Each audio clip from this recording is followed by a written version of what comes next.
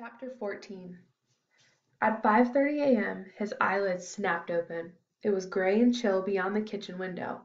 For a moment he wished it was just another day. Get up, out to the park, suck in the cool October air, and listen to his sneakers crackling over the fallen, yellow leaves. He tried to close his eyes. He rolled over on his stomach and buried his face in the pillow.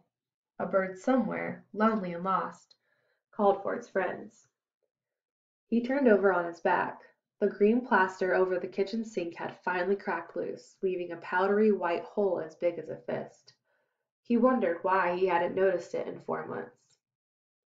After a while the apartment began to stir. First Aunt Pearl turning heavily in bed for the last few minutes of sleep, then the girls drowsily untangling their arms and legs. An automobile horn blared downstairs. Garbage can covers clanged. A policeman, bored and tired, dragged his nightstick along the bars of an iron fence. A skinny shaft of sunlight came through the window. "You sick, Alfred?" "Feel fine, Aunt Pearl." "Ain't you gonna run this morning?" "Not this morning." "Oh." She washed and dressed and woke up the girls. They began wandering between the front room and the bathroom, their eyes half shut, bumping into each other. Such nice little girls, he thought warmth spreading through his stomach.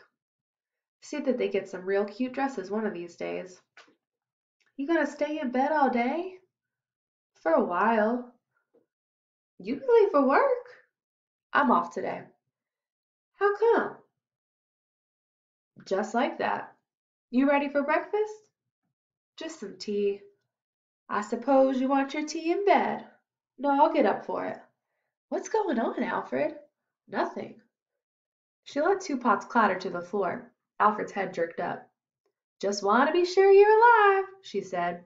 He put his hands under his head and watched them eat breakfast, smiling as the girls kept peeking at him over their cereal bowls. "Is Alfred sick?" asked Charlene. "Alfred has retired," said Aunt Pearl. "Is Alfred going to stay in bed all the time?" asked Sandra. "Why don't you ask Alfred?" "Today he said slowly. Alfred Brooks is resting himself for his big opportunity for advancement. What'd he say? asked Paula. He don't know himself, said Aunt Pearl. She dropped a tea bag into a cup and poured hot water over it. She placed the cup on the table. You've been doing so good at the store they didn't fire you? They did not. You didn't hurt yourself with all them exercises? I did not. She shrugged. Guess you're just a lazy boy. Don't you have any more questions? She pressed her lips together to stop a smile. Us busy people don't have time for quiz shows in the morning. They cleared the table and put on their coats. Aunt Pearl leaned over the bed. You got a secret? I do. Okay. She smiled down at him. I hope it's something good. Tell me later. Tonight. Fine. She touched his forehead. Don't let your tea get cold." He got up out of bed very slowly, stretched, and took the teacup into the front room. He turned on the television set and sprawled out on the couch. He watched two cartoon programs and part of an old gangster movie. He was still sipping at the tea, watching an exercise program for women, when Henry knocked on the door. "You ain't even dressed yet." "It's only ten o'clock. We don't have to meet Donatelli till twelve." "Yeah, I know, but still. Come on, Henry, I'll make you some tea. Relax, you." He did not begin to feel it himself until they were on the street. His stomach tightened. His lips moved mechanically to smile back at people he knew. They stopped in front of Epstein's and waved at Lou through the plate glass window. The old man left the register and came out. "You feel good?" "Fine." "You look good. Get a good night's sleep?" "Yeah." "Okay, I don't want you should stand around on the corner. I'll see you tonight." "Tonight? Why not?" said Lou, squeezing Alfred's biceps. Donatelli was waiting for them at the gym. The room, empty of fighters, seemed huge. "You have your card?" "Right here." Alfred opened his wallet and pulled out the amateur card with a postage stamp photograph. "Let Henry hold it." They followed Donatelli downstairs, stopping at the second floor's dentist office. "I have a patient now. You better eat without me, Vito," said Dr. Corey. He handed Henry a small box. "I made Alfred a second mouthpiece in case he swallows the first." "That's not funny, Arthur," said Donatelli. "So I'm not a comedian." He winked at Alfred. "Don't let these two make you nervous." Donatelli led them to a small luncheonette around the corner. He ordered sandwiches for himself and Henry, two soft boiled eggs, toast, and tea, with honey for Alfred. The counterman brought the food to their booth. "You gettin' to be a stranger, Vito. How's the Streeter kid?" "I don't handle him any more." "Too bad. Got any good ones?" "They're all good ones." "Yeah, sure." The counterman laughed. They picked at their food. "Do you feel butterflies in your stomach?" asked Donatelli. "No, like a cold spot." "That's good. Means you're on edge. The tea will help you settle your stomach." "Henry better have some tea. He's got the butterflies." The thin lips parted. "That's even better." On the street again, Donatelli hailed a taxi. He gave Henry a key and three dollar bills. "I'll be up in a few hours. Just make sure Alfred rests."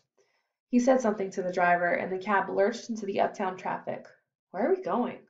"Spoon's place," said Henry. "Be nice and quiet there." Alfred relaxed in the back seat. "This is all right. What happens when you turn pro? You get a Cadillac and a chauffeur?" Henry shook his head. "When Jelly had his first fight, he came back from the weigh-in by subway." "Hmm. Is Jelly to fight again soon?" "I don't know. Just between you and me, Mr. Donatelli ain't so high on him any more." "But he knocked the guy out in one round." "Yeah, but Mr. Donatelli said anybody can't control himself with food can't go all the way. He said that to Jelly's face." "What'd Jelly say?" "He just made a joke, you know Jelly, and then he went out and had a whole chicken. Said he wanted to get an appetite for dinner." Alfred looked out the cab window. A breeze had sprung up, whipping flecks of white on the Hudson River. The cold spot grew. "Where's Spoon live?" "Washington Heights." "That in Manhattan?" "Yeah." Across the river, on a hill, the Ferris wheel of an amusement park stood motionless against a hazy gray sky. "Henry." "Yeah?" "You know this is the first time I ever rode in a cab." "When I was a kid I rode in a lot of cabs." "How come?" My mother used to take me to the clinic in a cab." "Oh."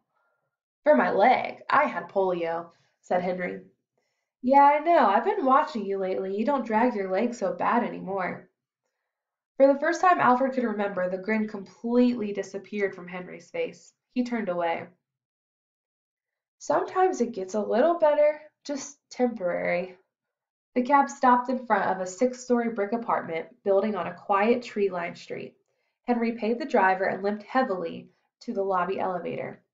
There were more books in Spoon's living room than Alfred had ever seen in a home.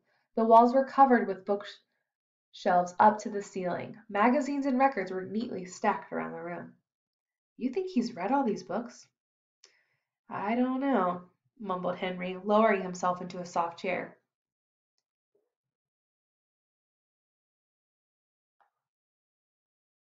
"How you feel, man?" "Me?" "Yeah, all I got to do is fight tonight. You, the assistant trainer, got to do all the worrying, right?" Henry brightened a little.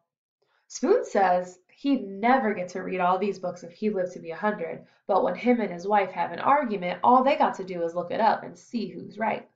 "What do they argue about?" "I was here one time before and she said the first American to get to the North Pole was black, and he said no, the black guy and the white guy stepped on it at the same time." "I never even heard about that in school. Who was right?" "I don't know. They were still looking it up when I had to go." Alfred laughed. "Some argument. One time I was over at this guy's house and his folks got to arguing about cigarettes, and the first thing you know they were throwing bottles." "Bottles?" "Yeah, whiskey bottles. They didn't hit each other, but they hit this guy and he had to get nine stitches on his head." "Was that James?" said Henry. "How'd you know?" "I heard it around. You see him any more?" "No. I tried to call him a few times, but his folks don't know where he's at," said Alfred. "You were real tight." "Yeah. He used to be my best friend." "What happened?" "You know how it is. Get older." "What do you mean, Alfred?" "Forget it. You ever go down to the club room?" Don't you know what happened? Thought you did. They were having a party down there a couple of weeks ago, making a lot of noise, and somebody called the cops. They busted in there and found marijuana and heroin. Was James there? Yeah, everybody beat it except Sonny. He's so dumb. And some kid named Justin. They got arrested. My father kicked them out. It's just an extra storeroom now. Where do they all hang out now? Oh, they scattered. Alfred pretended to study the books. Many of them were worn around the edges, as if they had been handled often. What are you thinking about? asked Henry. Uh, uh, nothing much. Let's see what's on TV. Henry got up. I'll turn it on. You got to rest. He snapped it on. A woman was giving a lesson in French. You want to watch this? Why not? I might have to fight a Frenchman someday. You don't have to talk to him, just hit him. Yeah, Alfred pointed a finger at Henry. You better watch it. You might have to talk to his trainer or something. Spoon came in a little after 3.30, a briefcase under his arm. I always found the worst part of fighting was those long afternoons just waiting and killing time. You must have read a lot of books then, said Alfred. Spoon shook his head. Wish I had. No, I used to play solitaire. There was one fighter in those days, a pretty good light heavyweight named Junior Ellis, who used to sing along with country and western records before a bout. He said it got his fighting juices worked up. What happened to him? He had a fight with a top contender, an Italian kid, and lost. The next day in the papers, the contender said he won because he sang along with the opera. They were still chuckling when a plump, sweet faced young woman came in. She was carrying a briefcase, too. Spoon got up and kissed her. This is my wife, Betty. You remember Henry Johnson, and this is Alfred Brooks. I'm glad you came up. She shook their hands. You men sit still. I'll have to put Alfred's steak on, and I'll be right out. She went into the kitchen. This is a nice place, said Alfred. Thanks for letting us use it. We like it here. Betty can walk to school and I can drive to mine in about 20 minutes. Did you get your permanent license? asked Alfred. You remember? Yes, I did. I'm taking some courses at night for my master's degree now. You teach school and go to school? asked Alfred. The more you learn, the more you want to know. You ought to think about night school for yourself, said Spoon. I didn't graduate from high school, said Alfred. You can go to high school at night. Yeah? Of course, when you're ready, give us a call. Either Betty or I could find a night school closest to your home, or you can do it yourself. Soon Betty came out in an apron. It's ready. The table was set for one. A large steak sizzled on a plate. There was a bowl of salad, two slices of toast, and a tea with honey. Go ahead. Sit down, Alfred. It's for you. What about everybody else? We'll eat later, said Spoon while you're taking your nap. If you eat a big meal too close to a fight, there isn't time for proper digestion. Makes you sluggish and slow, and one good punch to the belly and Billy, said his wife. She's not the world's greatest fight fan, said Spoon. The steak was thick and rare. He felt funny eating alone, and offered Henry a piece. But Henry just shook his head and watched him eat, and once told him to chew more carefully. The Witherspoons chattered about some school and about some boy in Betty's class who suddenly quit doing his homework. When Betty called his mother into school, she found out there was trouble at home. Alfred was surprised that a teacher could care so much about some kid not doing his homework. You certainly took care of that piece of meat, said Spoon. Are you still hungry, Alfred? No, thank you, Mrs. Witherspoon. That was real fine. Thanks a lot. Spoon stood up. We'll take a little walk now. Give your body a chance to work on that food.